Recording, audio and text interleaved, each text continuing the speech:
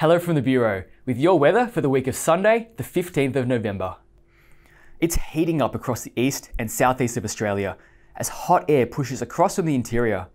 It reached 45 degrees at Rabbit Flat in the Northern Territory on Saturday, and storms delivered more than 100 millimetres to parts of the top end.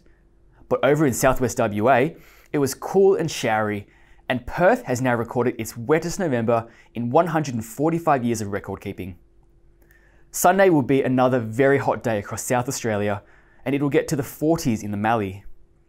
Wind will increase across Victoria, and there is the chance of dry thunderstorms ahead of a cool change. Warm for the rest of the country, away from southwest WA. On Monday, the heat will move into eastern New South Wales, getting to 40 degrees away from the coast. A cold front will bring relief and possible thunderstorms into the evening. Showers for Tasmania as the low pressure system moves through. Another trough will reinvigorate heat across the west on Tuesday, and during the afternoon, showers and thunderstorms will impact northeast New South Wales and southeast Queensland, possibly attending severe.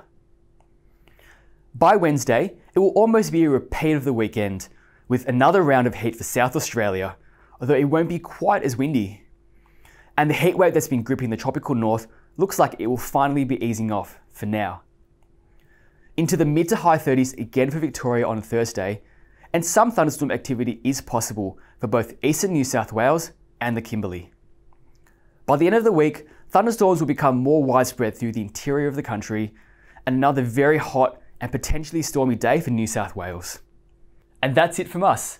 Stay safe and up to date with the latest forecasts and warnings through the summer, and we'll see you next year.